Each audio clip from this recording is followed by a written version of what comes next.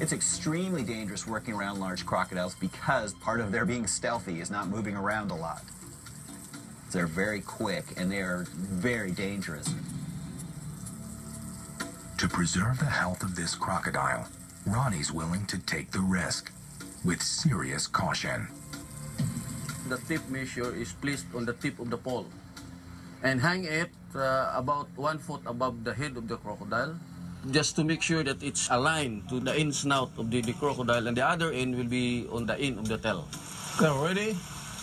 They spray water on Lolong to keep him calm, while Ronnie keeps a distance from the croc's jaws. At any moment, the giant crocodile could confirm his hunger for human meat. It'll come to life explosively and take a snap at you. It's like a gunshot. The measurement is 20.3.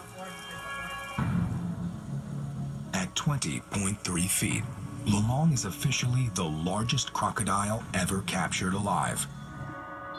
Compared to giant 16-foot saltwater crocs usually found here in the Agusan swampland, that's over 25% larger.